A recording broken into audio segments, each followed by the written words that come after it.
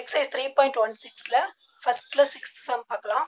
Graph the following quadratic equations and state their nature of solutions அப்படின்னு கொடுத்துருக்காங்க. அதில் sixth question two x minus three into x plus two equal to ஜீரோன்னு கொடுத்துருக்கு. இதை நம்ம X value கண்டுபிடிக்கணும் இல்லையா? அது இந்த சைட் போட்டுக்கலாம். டூ எக்ஸ் மைனஸ் த்ரீ ரெண்டு இருக்கு இல்லையா? ரெண்டுமே தனித்தனியாக பிரிச்சுக்கலாம். Two x minus three equal to zero ஒன்று என்னென்னா x plus two equal to zero இப்போ two x equal to minus three ரைட்டில் போச்சுன்னா ப்ளஸ் த்ரீ ஆயிடும். அப்போ எக்ஸ் ஈக்குவல் டு இங்கே மல்டிப்ளைல இருக்கு டூ அப்போ டிவைட் ஆகும். இப்போ எக்ஸோட வேல்யூ த்ரீ பை டூ ஒரு ஆன்சர் கிடச்சிச்சு. Next answer x plus two equal to ஜீரோனா plus two right hand side போனோம்னா மைனஸ் டூ ஆகிடும் இப்போ எக்ஸுக்கு ரெண்டு வேல்யூ கிடைச்சிரும். இப்போ கொடுத்துருக்கிற ஈக்குவேஷனை நம்ம ஒய் ஈக்குவல் டு அப்படின்னு எழுதணும் இல்லையா? அதுக்கு என்ன பண்ணணும் அப்படின்னா ஃபர்ஸ்ட் இது மல்டிப்ளைல இருக்கு. அதை நம்ம மல்டிப்ளை இப்படி பண்ணணும்.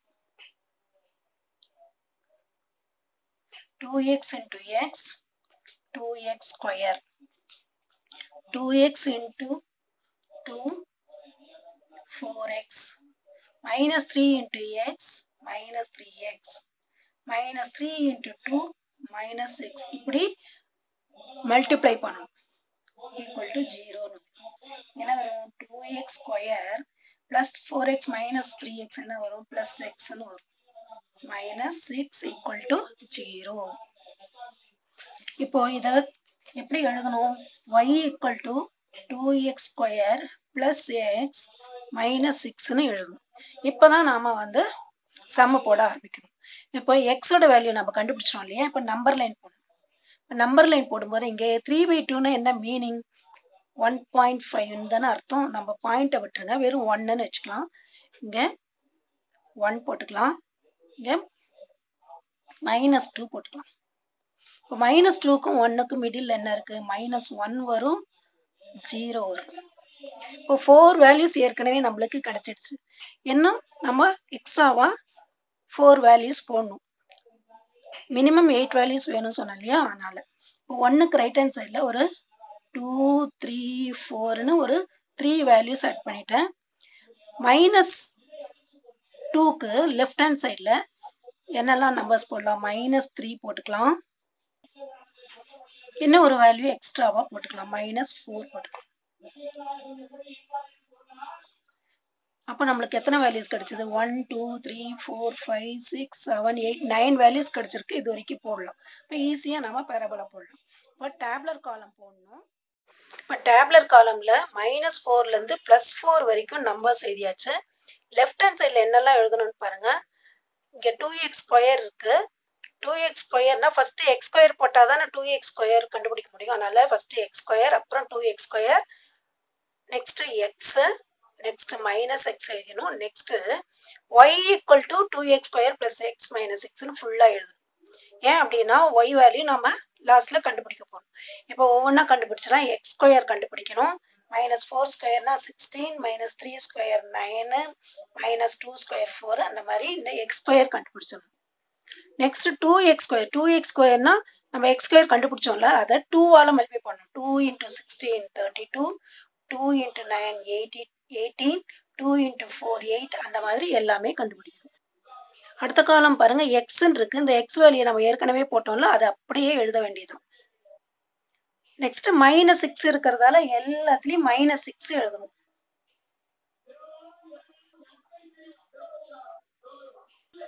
அடுத்தது y equal to two x square plus x minus six இருக்கிறதால எதெல்லாம் டிக் போட்டுக்கணும்? டூ எக்ஸ் ஸ்கொயர் எக்ஸ் அப்புறம் மைனஸ் எக்ஸ் மைனஸ் சிக்ஸ் இது எல்லாத்தையும் நம்ம ஆட் பண்ணோம் தேர்ட்டி டூ இருக்குங்க பிளஸ்ல மைனஸ் மைனஸ் ஃபோர் மைனஸ் சிக்ஸ்னு மைனஸ்ல வேல்யூ இருக்கு. அதை ஃபர்ஸ்ட் ஆட் பண்ணிக்கலாம். மைனஸ் ஃபோர் மைனஸ் சிக்ஸ் வந்து மைனஸ் டென் வரும். அப்போ தேர்ட்டி டூ மைனஸ் டென்னு டுவெண்ட்டி டூ இங்கே minus three minus six minus nine eighteen minus nine nine இந்த மாதிரி ஒவ்வொரு டேப்லர் காலையும் ஒவ்வொரு காலமையும் ஃபில் பண்ணிக்கணும். எல்லா காலமும் ஃபில் ஆயிடுச்சு. இப்போ நெக்ஸ்ட் என்ன எழுதணும் அப்படின்னா எக்ஸ் வேல்யூவையும் ஒய் வேல்யூவும் நம்ம டேப்லர் காலம் போடணும்.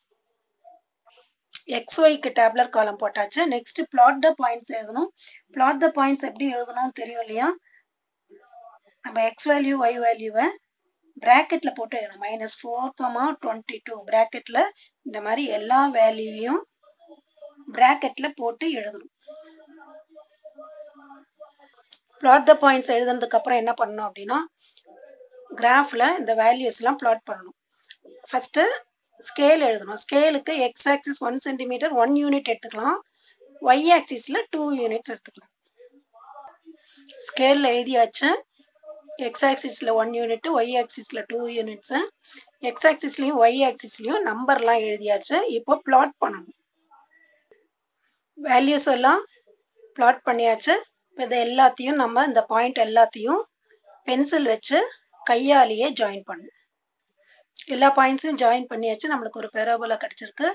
மேலே ஏரோ மார்க் போட்டுக்கணும் இங்கே ஈக்குவேஷன் எழுதணும். Y equal to two x square plus x minus சிக்ஸ்னு ஈக்குவேஷன் எழுதணும். இப்போ இந்த இந்த பேரபோலா எக்ஸ் ஆக்சிஸ்ல எங்க கட் பண்ணுது பாருங்க. இங்க மைனஸ் டூ இந்த ரைட் ஹேண்ட் சைட்ல ஒன் பாயிண்ட் ஃபைவ்ல கட் ஆகுது. நம்மளுக்கு ஏற்கனவே x value கண்டுபிடிச்சோம்ல? One point five minus two அந்த வேல்யூ கரெக்டா வந்துடுச்சு. சொல்யூஷன் செட் எழுதணும். சொல்யூஷன் செட்ல நம்மளுக்கு என்ன வேல்யூ கட் வந்ததோ அதை எழுதணும். Minus two comma one point five இப்போ இந்த ரெண்டு வேல்யூவும் பாருங்க. ஆன்சர் வேற வேற இருக்கு. Minus two one point five வேற வேற நம்பர்ஸ் அதனால ஆன்சர் எப்படி எழுதணும்னா ரியல் அண்ட் அன்ஈக்குவல் ஈக்குவலா இல்லைல்ல அதனால அன்ஈக்குவல் ரூட்ஸ்னு எழுதணும் சம் புரிஞ்சுதா?